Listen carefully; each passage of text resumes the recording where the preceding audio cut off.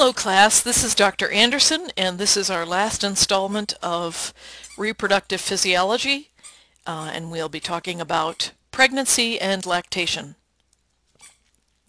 These are our learning objectives. I'd like you to be able to describe the events of fertilization and uh, let me see if I can get my laser pointer here. Fertilization and some aspects of development, mostly about fertilization, but um, then the fertilized zygote becomes an, uh, an embryo and then becomes a fetus.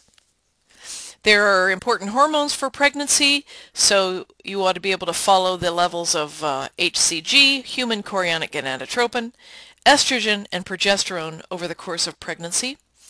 Uh, labor and delivery is a positive feedback mechanism, so labor has three stages that, that occurs in a positive feedback mechanism and I'd like you to be able to describe those three stages and why it is a positive feedback mechanism. And finally we're going to talk about the role of oxytocin in an uh, important aspect of breastfeeding which is milk letdown. So in this picture you see a secondary oocyte surrounded by granulosa cells, that's the corona radiata, and there are several sperm. The cap of the sperm have some enzymes that are that uh, uh, that cap is called the acrosome, and those enzymes are released in what's called the acrosomal reaction. And um, the sperm can then burrow in between the cells, and you see here one cell, one sperm has made it. And when that happens, there are granules underneath the membrane that are released and that's called the cortical reaction and this zona pellucida becomes impenetrable and no other sperm can come in. Um, the fertilization by the sperm is then the trigger for the second meiotic division so that this cell can become a mature ovum. And then the two nuclei fuse and then you have what's called a zygote. So the zygote is contained within this zona pellucida so not only does the zona pellucida prevent other sperm from fertilizing the cell, but it also prevents the embryo from implanting too early because we are still in the fallopian tube. So as the cell makes its way through the fallopian tube, it's going to divide. And so we have one big cell that's now two smaller cells, and four smaller cells and eight smaller cells. Now this group of cells is called a morula. Morula means mulberry and that's about when it's entering the uterus. And then we have more cells. The cells start to divide into two varieties. There's the cells on the outside of this ball of cells. That's called the trophoblast and that's going to contribute to the fetal membranes and to the um, embryo's contribution to the placenta. These are the cells that produce human chorionic gonadotropin, which is the basis of the pregnancy test. And then we have some cells inside called the inner cell mass. That's what's going to become the embryo. And notice this structure has to hatch out of the zona pellucida so can, it can attach to the mother's tissues. So here we are in, in the uh, ovary. There's the uh, dominant follicle. It bursts and releases the secondary oocyte. The remainder of the follicle stays in the ovary and becomes the corpus luteum. This secondary oocyte then travels along the um, uh, fallopian tube and about a third of the way down is when it would meet any sperm and this is where fertilization occurs. So fertilization is the stimulus for the second meiotic division. Now you have a mature ovum, the nuclei of the mature ovum and the sperm join. Now you have a zygote, and the zygote divides mitotically as it travels along the fallopian tube. The morula enters the uterus. The cells continue to uh, divide the blastocyst has to hatch out of the zona pellucida so that the blastocyst can attach to the mother's membranes and this is a process called um, implantation. When the um, embryo implants uh, there can be a little bit of bleeding and so uh, about the time women are expecting their menstrual period uh, would be about the time that uh, implanting is, is occurring and um, she might think she's having a light period when actually what she's having is implantation bleeding. Um, and so this can, um, some women can be a little bit confused about exactly when they were pregnant um, uh, because of this little bit of implantation bleeding. So here's the um, uh, trophoblast. Notice that the inner cell mass is what lines up against the mother's tissues. And the cells of the trophoblast begin to divide and they sort of make their way out into the mother's tissues. So now we have um, there's a cytotrophoblast and a syncytiotrophoblast. Those terms aren't used here, but they, they sort of differentiate. And these cells fuse and they produce enzymes that digest the mother's tissue because this organism is trying to find the mother's blood vessels. And so that union can be formed and a placenta can be formed. Now notice with impl implantation, then the mother's tissue actually covers up the whole embryo. So if you remember from general biology, when you looked at development of the of the um, embryo, so here all the cells are the same. The cells start dividing into um, um, endoderm and ectoderm. Um, there's a little bit of an amniotic cavity that starts forming. And then you have um, um, endoderm and ectoderm, and in between forms a layer called mesoderm. That's a process called gastrulation. Um, and you may have you may remember from general biology when you talked about this sort of thing, when you talked about gastrulation, you looked at it in the frog oocyte. And you may have wondered, why didn't we look at this in mammals? Well, in mammals, this process all happens under wraps in the uterus. Uh, so it's more easily visible in the frog oocyte, which is why it's demonstrated there. But you have some cells that dive in, so then you've got endoderm, ectoderm, and mesoderm, and those are the three germ layers that produce all the tissues that are going to form um, this embryo, which is then going to be a fetus and then eventually be a baby.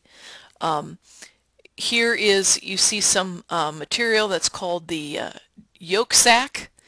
Um, that helps form some of the GI tract, that helps form some of the blood vessels. Here's the amniotic cavity developing a little bit more. Here are the, now you see all of these little projections are out in all little directions. Each of these little points, these are called chorionic villi.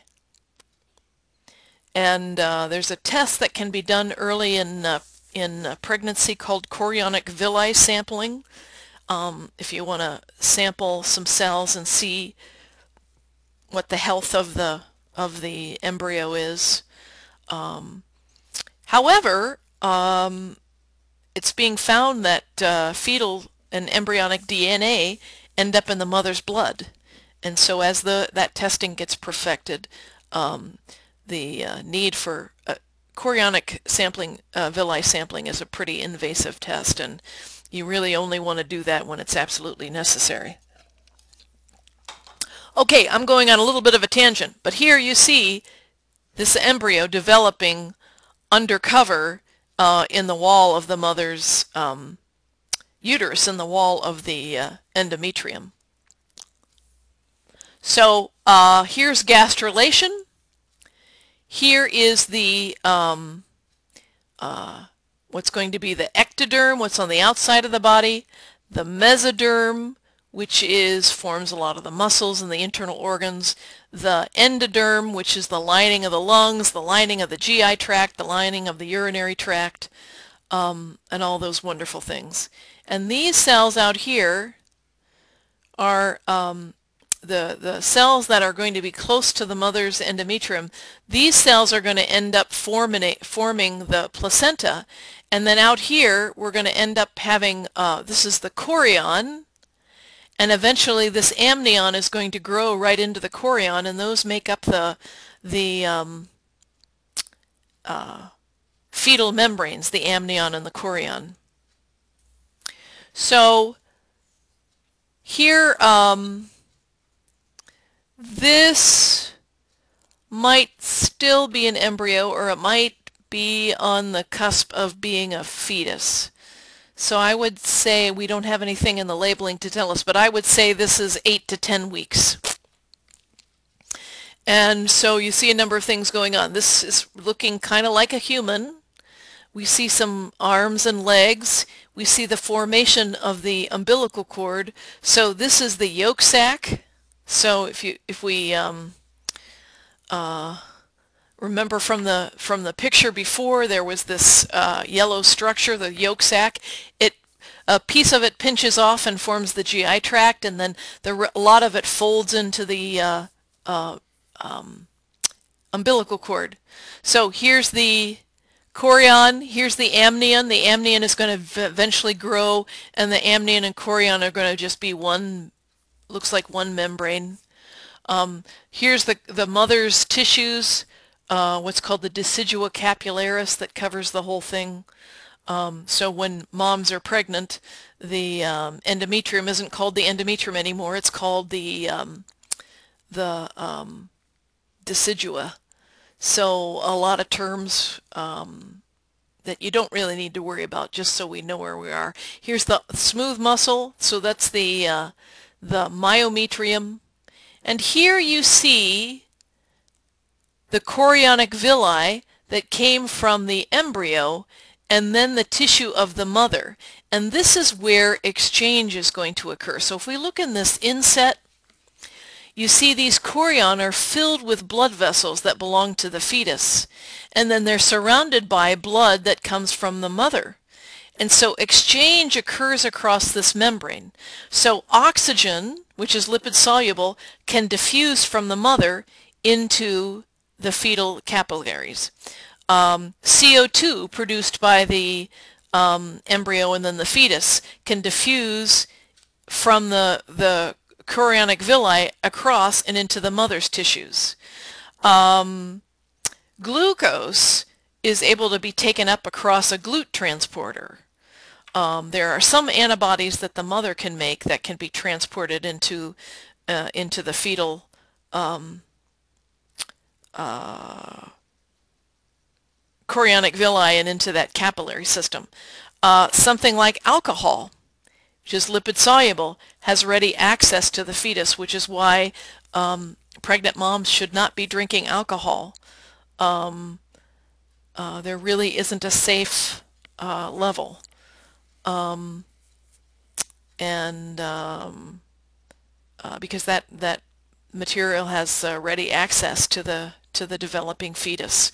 Um, so if mothers need to be on medication, um, their uh, physicians or their nurse practitioners want to think about medications that don't cross the placenta that will help the mother with her medical needs but not cross the placenta and go over to the fetus. Uh, another thing I want you to notice here is notice that the umbilical arteries are blue and the umbilical vein is red. Now why is that? Well, we name arteries and veins based on where they're going. The arteries are going from the fetus to the placenta, but they're carrying venous blood. And the vein is going from the placenta back to the fetus, but it's carrying oxygenated blood. So it's kind of similar to the pulmonary system. So if this fetus is you know, I'm going to just go out on a limb here and say, yes, this is a fetus, because by nine weeks you would call um, the embryo becomes a fetus. All the organ systems have been laid down. It's got a beating heart. It's got kidneys. It's got a, you know, a brain.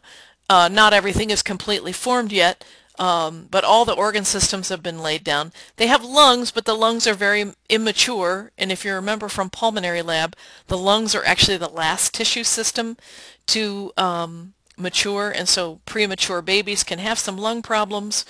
Um, but once the the the um, organism becomes a fetus, its main job is to grow uh, because the basically all the brains, uh, the organ systems have been laid down.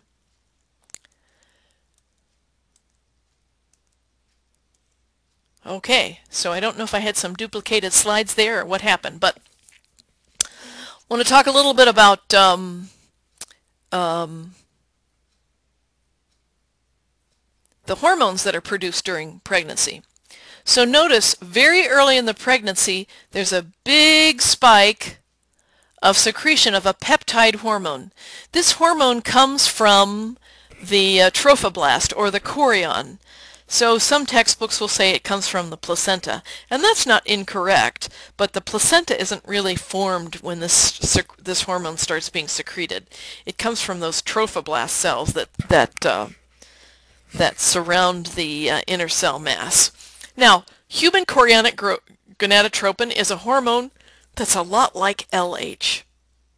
And what it does is tells the corpus luteum to not die.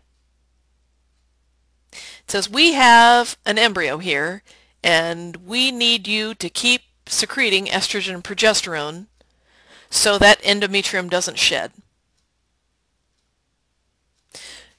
Once the placenta forms, then the placenta can take over hormone secretion, and then we don't need uh, corpus luteum anymore. Human chorionic gonadotropin is the basis of the pregnancy test. So you go to the drugstore and you get a little stick and you put some urine on there and it looks for HCG in the urine and uh, and uh, is a way to tell if a woman's pregnant or not. Um, HCG is also implicated for morning sickness, um, early in pregnancy, and the nausea some women feel early in pregnancy. Now notice, so uh, you know, by the time we get to the end of the of the um, first trimester, and notice we're starting at the uh, last menstrual period because we don't actually know when exactly when fertilization happened. But um, this uh, spike of human, human chorionic gonadotropin decreases, but notice estrogen levels and progesterone levels increase throughout pregnancy. Um, notice that early in pregnancy, um, estrogen and progesterone levels are kind of close together. Uh, but towards the end of pregnancy, estrogen is much, much higher than progesterone. So early in pregnancy, progesterone is the predominant hormone. It's very important for keeping the uterus relaxed so that pregnancy can keep going. At the end of pregnancy, estrogen levels get much higher than progesterone, and that is what's important for turning the uterine smooth muscle into single unit smooth muscle that's going to be a contracting smooth muscle. Now notice with delivery of the baby and the placenta, the hormone levels then just plummet. And that tells you that a lot of these hormones have been coming from the placenta. So what are these hormones doing in pregnancy? So progesterone, the predominant hormone in the first parts of pregnancy, the, at least the first um, uh, seven or eight months, it helps keep the myometrium relaxed. And so there's a critical thinking exercise that I'd like you to work on that asks you to think about what kinds of proteins should be upregulated and activated by progesterone. I mean, progesterone's a steroid. It diffuses into cells, finds a, an intracellular receptor. Progesterone and the receptor then interact with the DNA to increase gene transcription. What kind of proteins do we want to make? What kind of proteins do we not want to make? And I'd like you to think about that in that critical thinking exercise. Now, estradiol, it, it, increases throughout pregnancy, but it's much more important during that last month. And what it does is it gets the myometrium ready for labor, because you got to contract and squeeze this baby out. So moms will first feel something called Braxton Hick contractions. They're just tightening contractions and uh, they don't really hurt, but you kind of feel the uterus tightening. And the, the, that means that um, the smooth muscle is becoming single unit. Well, how would you convert multi-unit myometrium to single-unit myometrium? You would upregulate gap junctions, and estrogen is very important for that. So I'm such a nerd that when I was in my uh, uh, the end of my pregnancies. I've had two children, and uh, towards the end, when I could feel those Braxton Hicks, I would think, oh, I'm getting gap junctions. That's really great. And th so now those cells can depolarize together and contract together so you have a coordinated contraction to push a baby out with. So labor is very, very complicated. There's a lot of stuff going on. The increase in estrogen levels help with the upregulation of oxytocin receptors. The uterus becomes more sensitive to oxytocin. And what happens is the uterus starts to contract. And then when the uterus starts to contract, then action potentials go back to the brain and the brain starts producing this hormone um, uh, oxytocin. Remember, oxytocin is synthesized in the hypothalamus and released from the posterior pituitary. And then oxytocin causes more contractions. So labor happens in three stages. Initially, the contractions are to pull open the cervix. The cervix has to thin and dilate and has to dilate to 10 centimeters because the cervix has to be at least 10 centimeters to get a baby head out of that. So moms start feeling like they want to push, but they cannot push until, and that's where all the breathing comes in, uh, but they should not be pushing until the cervix is fully dilated. When the cervix is fully dilated, then mom starts bearing down and pushing, trying to push the baby out through this opening. And um, you want the baby head, baby's head to be down and the face to be down so that um, you can get the head out under the, the pubic bone and then the rest of the body can come out. Um, and it's helpful to have a nurse or a midwife or a physician helping guide the, the baby out, though there are certainly um, people that have delivered babies at home without uh, without the help of of a so-called professional. So when the baby is born, that's the second stage of labor, but we're not done yet because the placenta has to be uh, delivered. So the the um, midwife or the labor and delivery nurses will push on the belly, will push on the abdomen, and encourage those contractions to keep going so that the entire placenta can be delivered. This is really important because if pieces of the placenta are left behind, then the then the lining of the uterus doesn't clot properly, and um, and a woman would be in danger of hemorrhage. Um, and uh, and those contractions help deliver the placenta, start squeezing those blood vessels down so you can clot and stop the bleeding and that sort of thing. So labor is a positive feedback mechanism. So initially, um, the uterus starts to contract and the baby's head pushes on the cervix. There are receptors in the cervix that uh, are connected to neurons that then send impulses back to the control center. The control center is the hypothalamus. The hypothalamus then starts generating action potentials. Action potentials go down to the axon terminus. Oxytocin is released from the posterior pituitary. Oxytocin then goes into the blood to oxytocin receptors in the uterine smooth muscle. Then you get more contractions. So then the baby pushes on the cervix even more, which causes more action potentials to go to the control center, which causes the release of more oxytocin, which causes stronger contractions. And this continues to build and build and build until we deliver the baby and then uh, delivering the um, um, placenta and when the placenta is delivered, there's no more stretching of the cervix, and, um, and, and the, then that positive feedback mechanism is over. All right, now, once we birth the baby, then we got to feed the baby. And the breast is an example of an exocrine gland, and it's a very complicated exocrine gland. It needs a lot of hormones to help it do its help it do its job. First of all, estrogen grows the breast. Remember, growth of the breast is the first sign of puberty in girls. Then progesterone works upon the uh, upon the breasts to develop this duct system and and truly turn the breast into a gland. Uh, then we have a hormone called prolactin. Now remember, the hypothalamus produces a hormone called dopamine.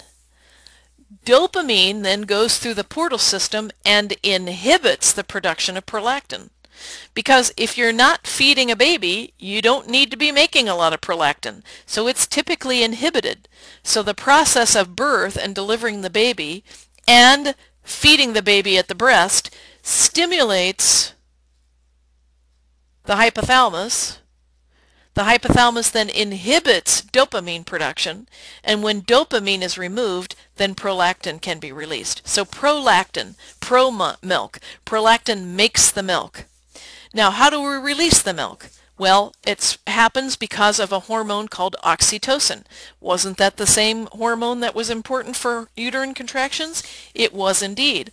Oxytocin is also helpful for um, allowing the um, uh, the milk to be let down. So so the um, so we have a, a gland here that's full of milk, and there are some contractile cells around the milk glands and oxytocin helps those little contractile cells to squeeze so that then the milk is released into the glands and then the baby can drink the milk from the nipple.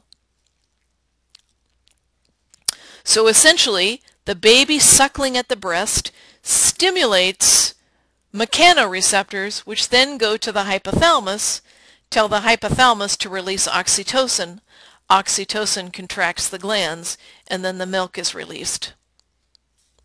So uh, that's shown in this feedback mechanism here. So the baby uh, sucks on the nipple. That causes uh, these mechanoreceptors to be stimulated. Action potentials go back to the hypothalamus. Hypothalamus sends action potentials to the posterior pituitary. Oxytocin in the blood causes those contractile cells around the glands to contract and then milk is ejected. So as long as mom keeps breastfeeding and the baby keeps sucking at the breast, then the body is encouraged to make the milk and release the milk. Uh, if mom stops breastfeeding, then um, then the the the brain isn't getting the signal to to release prolactin and release oxytocin and the breasts definitely you know eventually the glands um, get smaller and stop making all the milk and so forth other thing is uh, there are other things that can affect the control center it's not shown here but um, sometimes a mom can hear her baby cry or even hear someone else's baby cry. Whoops, that's supposed to say crying, and that you can't read it at all, can you? Um, so, the, so the baby is crying, Mom, I'm hungry. And mom hears that sound, and that directly in, impacts the hypothalamus, and she'll start to release milk. Um, and I've got a nice uh, little message from my video game on my computer. Isn't that nice? Okay, so uh, so uh, a baby crying uh, can also stimulate this reflex.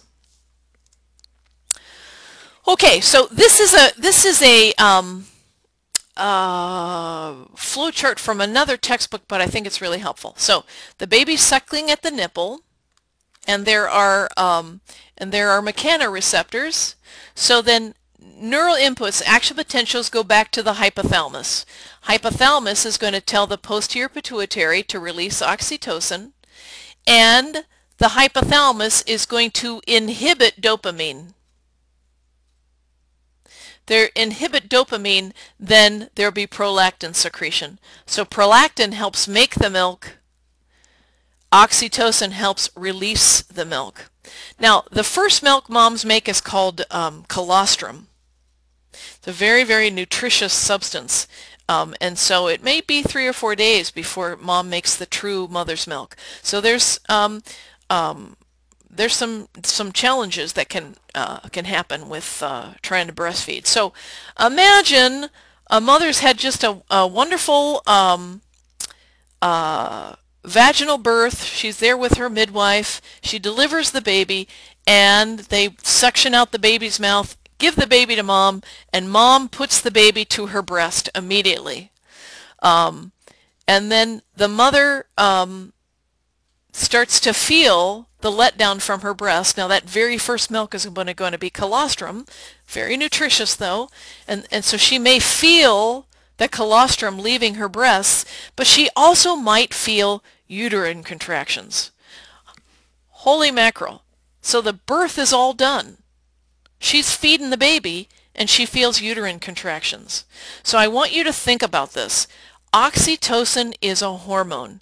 How could oxytocin cause both milk letdown and uterine contraction? This is a question in your CT book, and I'd like you to think about that.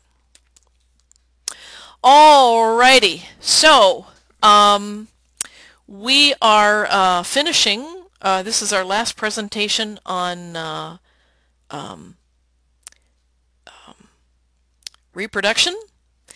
And so I'd like you to bring your book and your CT book to lab. We are going to be working on CTs. There'll be a couple of them that you'll turn in for credit, um, but it also will be a wonderful opportunity for you to work with the TAs on all of the CTs.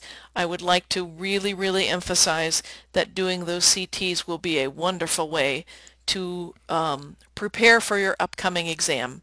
Um, Post your questions on the website if you have any. Um, keep up the good work. Keep up all that good studying. And I'll see you in class next time.